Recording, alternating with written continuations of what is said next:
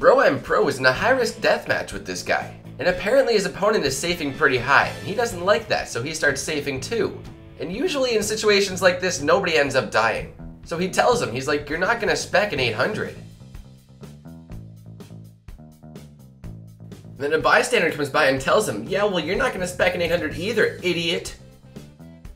So he whips out the Dharok's and pulls out an 824 for the KO. Well, he didn't spec an 800, but I think that's close enough. Meanwhile, Swagaholic is also looking to go beast mode with the Dharok's, as he's gotten himself just a few XP away from 99 strength, and he's looking to mimic some of those epic clips you've seen on this channel before of people one-hitting people.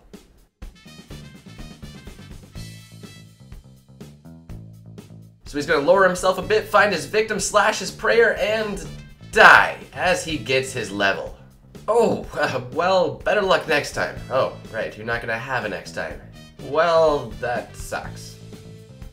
You can come over. I mean, that's great. I got this uh, golden necklace with a diamond in it that you can put on. Um, I call it my I call it my phoenix necklace because it uh it gets me fired up and uh, ready to go like a phoenix. You know, like my boner it my boner dies down and then it kind of just comes right back up, just like a sure phoenix.